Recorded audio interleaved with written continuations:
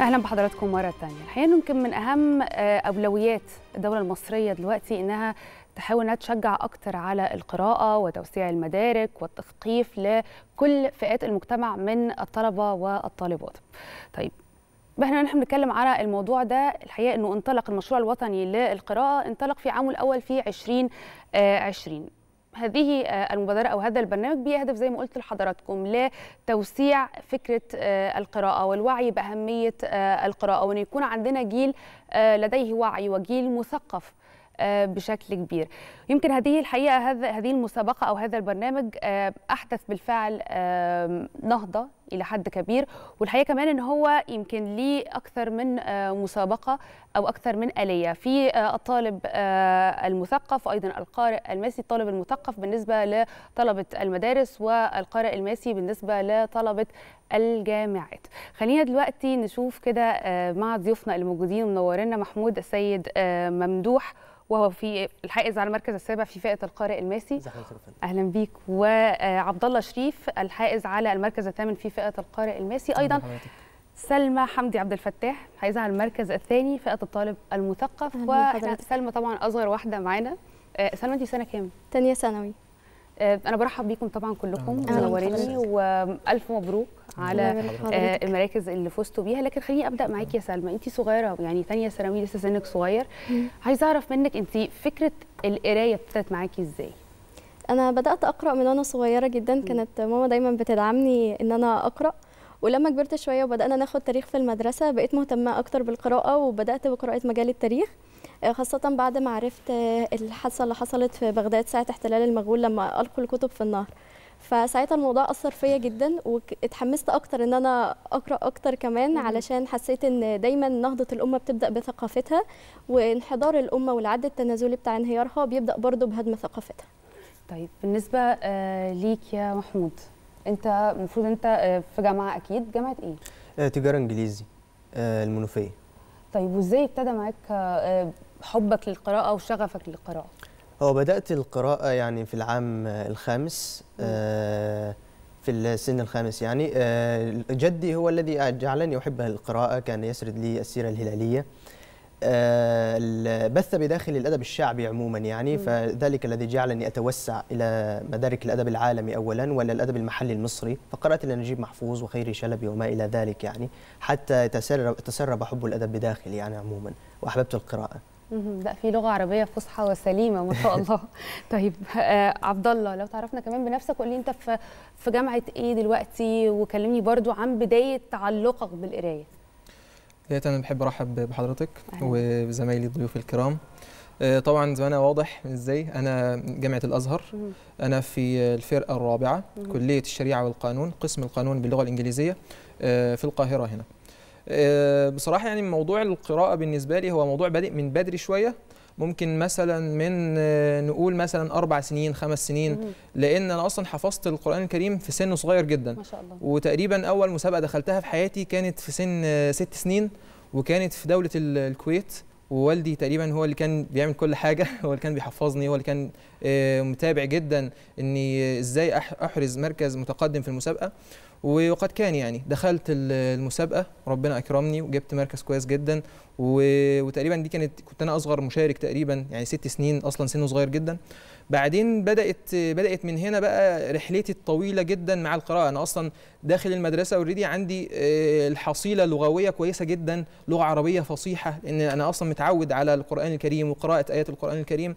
بدأ والدي يجيب لي القصص قصص الصحابة قصص الأنبياء وبدأ يسرد لي السيرة النبوية. وبدأ يقعد معايا ويسهر معايا سهرات مطولة جدا وإزاي إزاي نقرأ إزاي أستفيد من من الكتاب. وبعدين مرت السنوات وبدأت أدخل مسابقات ثقافية. دخلت تقريبا أعتقد في وأنا في ثانية ثانوي دخلت مسابقة اتحاد القراءة العربي. وبرضه كنت من العشره الاوائل على الجمهورية وسافرت دبي. واتكرمت هناك من الشيخ محمد بن راشد ال مكتوم أعتقد في 2018 وكان الدعم الأكبر ليا بقى السنة دي في في مسابقة المشروع وطن القراءة برضه والدي كان دايما يقول لي إحنا مش مش مش هنتنازل عن مركز لازم مركز من من العشرة. والحمد لله يعني يعني دي هذا المركز بفضل دعمه ودعواته ودعوات الأسرة كلها يعني الحمد لله. طيب إحنا لسه مكملين كلامنا معاكم أكيد ومشاهدينا نروح لفاصل سريع. نرجع نكمل مع حضراتكم باقي فقرات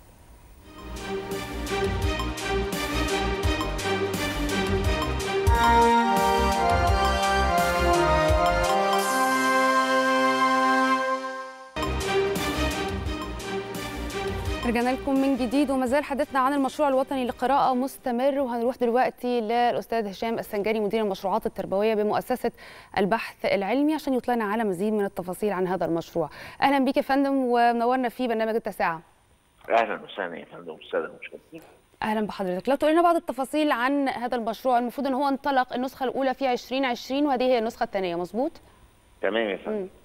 هو انطلق النسخة الأولى منه في 2020 وتحدى الظروف بتاعة الكورونا وأثبت القراء المصريين إنهم قادرين على تجاوز الأزمات.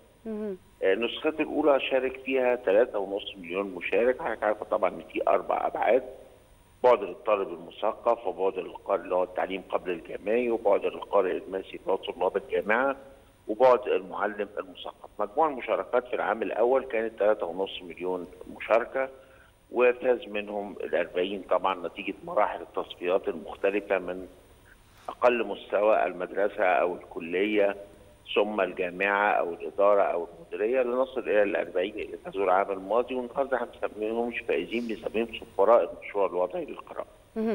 هذا العام كانت النسخة الثانية انطلقت في هذا العام الدراسي وأعلن جوائزها الأحد الماضي 4 12 وأصبح عندنا 40 سفير أيضا للمشروع الوطني للقراءة 20 من الطالب المثقف من الصف الأول الابتدائي حتى الثالث الثانوي.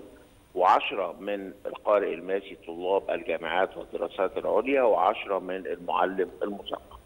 تتراوح جوائزهم ما بين مليون جنيه الجائزة الأولى لتصل إلى آخر جائزة خمسين ألف جنيه بالنسبة للطالب المثقف ومئة ألف جنيه بالنسبة للمعلم المثقف أو القارئ الماسي. معايير اتفضل يا فندم.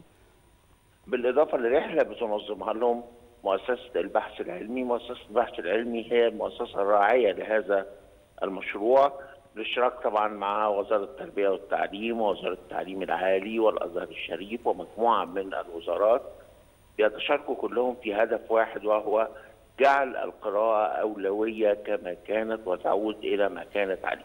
نظم لهم الرحلة وبإذن الله هذا العام هيكون عندنا 80 هم ال 40 في العام الماضي وال 40 بتوع العام ده لأن طبعا العام الماضي نتيجة لظروف كورونا ما استطعناش ننفذ هذه الرحلة. أستاذ هشام السنجاري مدير المشروعات التربوية بمؤسسة البحث العلمي. شكرا ليك يا فندم. هرجع لكم مرة تانية. وإحنا بنتكلم عن هذه المسابقة وهذا المشروع. خليني أعرف منك يا آه، عبد الله أنت إزاي اشتركت؟ وإيه المعايير اللي كانت متوفرة فيك عشان تقدر تفوز بهذا المركز؟ آه، بداية المشروع الوطني للقراءة طبعا أطلق ال- المنصة الخاصة بي على محرك البحث جوجل. وبعدين بت- بتم آه، بيتم اختيار الكتب طبعا ده من المتسابق نفسه. المتسابق بيختار ال- الكتب آه، المتاحة في إطار آه، 30 كتاب آه، في شتى المجالات ما لا يقل عن خمس مجالات أو ست مجالات. بيبدأ يلخص كل كل كتاب بيبدأ التلخيص بتاعه في ما لا يزيد عن ألف حرف. يعني لو تعدى الألف حرف أصلا المنصة مش يعني بتسجل. الكتاب وبتلخصه. آه ولكن طبعا عملية التلخيص والتمحيص دي محتاجة يعني إنسان قارئ ومتعمق في القراءة آه، ويمتلك مدركات الأمور والحثية والمعنوية ويكون متعمق جدا في الكتاب عشان يقدر إن هو يستحوذ على الألف حرف و- ويكون قادر إن هو يلخص الكتاب في إطار هذا العدد المحدود جدا من الحروف واللي هو تقريبا لا يتعدى آه، 300 كلمة أو حاجة. لازم يكون قارئ متعمق جدا في في الكتاب ويكون متعمق جدا في في المجال. وحضرتك سالتي سؤال إيه اللي إيه مؤهلاتك إن أنت تكون من العشرة أو إن أنت تفوز بالمركز؟ في الحقيقة ال- المسابقة في نقطة جميلة جدا أنا لمستها في المحكمين ولمستها في أصدقائي ال- الحائزين على مراكز أيضا متقدمة. هي حتة المنهجية في البحث. لابد أن يكون هناك من- منهجية في البحث ومنهجية في القراءة. مثلا أنا هقرأ آه، 30 ك- 30 كتاب مثلا في خمس مجالات أو ست مجالات. لابد أن يكون الكتاب الأول يوصل إلى الكتاب الثاني يوصل إلى الكتاب الثالث بحيث إن أنا بعد نهاية قراءتي في المجال ده قرأت مثلا خمس أو ست كتب في هذا المجال أكون ملم بكل جوانب ال- المجال وأكون متخصص في هذا المجال من الكتب القليلة جدا. يعني أقل من عشر كتب في مجال واحد لا يكون متخصص فيه. ولكن أنا بكون بمجرد إني قرأت أربع أو خمس كتب في المجال ده آه، بمنهجية محترمة وعلى أسس علمية سليمة بكون ملم بجوانب آه، المجال من كل ال- اللقاع طيب سلمى. نفس بالظبط هي نفس آه، شروط المسابقة برضو فكرة إنك تقري كتب وبتلخصيها. بالظبط 30 كتاب برضو. بيتم تلخيص ال 30 في كتاب. مدة قد إيه بقى؟ آه، المدة المسابقة بتبدأ يعني مثلا الموسم الثالث بدأ من دلوقتي لغاية مثلا التصفيات ممكن تكون هتبدأ في شهر أربعة مثلا. برضو 30 كتاب ولخصتيهم. بالظبط. آه. طيب قولي بعد المدرسة بقى عايزه تدخلي جامعة إيه؟ وبعد كده عايزة تعملي إيه؟ أنا مدرستي علمية فإن شاء الله يعني أطمح إن أنا أسلك المسار العلمي وكمان عايزة أسلك مسار أكاديمي إن أنا أكون أستاذة جامعية بإذن الله. بإذن الله. بتحسي ان انت مختلفة عن اللي في سنك؟ القراية مخلياكي مختلفة عن اللي في سنك؟ هو أي حد بيقرأ بيكون مختلف طبعا لأن القراءة بتخلينا ننظر للأمور من شتى جوانبها وداي ودايما القراءة بتخلينا لينا هدف محدد في الحياة. فأي حد بيقرأ بيكون عنده هدف محدد ولكن فكرة الاختلاف آه، دي أنا مش بحب أتكلم فيها قوي لأن كل واحد ليه اهتماماته. فأنا ما ينفعش إن أنا أفرض على حد فكر معين علشان يكون مختلف لأن ده ضد- قناعاتي وضد المبادئ اللي أنا اتعلمتها من القراءة. لا هي مش فكرة مختلف مش لازم يكون اختلاف بشكل آه، مش لطيف ولكن أقصد بالاختلاف إن إن مداركك أوسع عندك يمكن معلومات أكتر ده اللي أقصده بالاختلاف. فطيب هروح ل محمود محمود السيد محمود يعني تجارة إنجليزي وعربي ما شاء الله سليم وصحيح جدا. صحيح. وأنا شايفة قدامي شاب الحقيقة يعني خلينا نقول شاب مثقف. وعندك معلومات كتير. برضو عايزة أعرف منك فكرة أنت تلخص 30 كتاب وأنت في التجارة انجلش برضو مش جامعة يعني سهلة. آم، إزاي عرفت تعملها؟ إزاي عرفت تلخص ال 30 كتاب في وقت؟ على فكرة سنه أعتقد برضو مش وقت كبير قوي إن أنت تلخص 30 تقرأ 30 كتاب وتفهمهم وتلخصهم. بالضبط. هو كما قال آه، أخي يعني القراءة المنهجية أو التعود على فكرة القراءة المنهجية بمعنى أن كتاب يقودك لكتاب آخر يقودك لكتاب آخر آه، هذا هو ما ساعدني أساسا على تنمية اللغة وعلى الوصول إلى تلك الخارطة. يعني أولا قبل المشروع الوطني للقراءة آه، كنت ضائعا في موضوع آه، إيجاد منهجية في القراءة، إيجاد منهجية في قراءة كتب معينة، كنت أقرأ بشكل عشوائي، لكن المشروع الوطني للقراءة علمني كيف بإمكاني أن أهتدي بخارطة معينة إلى عمق الجوهر الفكري، إلى عمق فكرة معينة، فاستطعت من خلال مثلا نجيب محفوظ أن أبحث في القاهرة وأن أتكلم في كتب عن التاريخ التاريخ القاهرة. ومن خلال القاهرة قرأت لستيفن زفايغ عن الأدب العالمي عموما يعني عن آه، مدن أخرى. فكتاب قادني ل- لآخر لآخر. فهذا هو ما قادني أساسا يعني إلى آه، تكوين خارطة فكرية آه، عن الثقافة عموما يعني.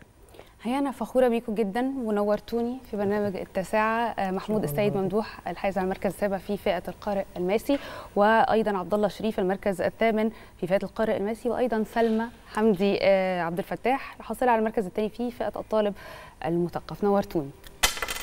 شكرا لحضرتك. اسفين على الغطاء الواقع مشاهدينا. بكده تكون خلاص خلصت حلقتنا من برنامج التاسعة النهارده. إن شاء الله يعني آه، يكون معاكم برنامج التاسعة بكرة في نفس الميعاد. شكرا جزيلا لحضراتكم.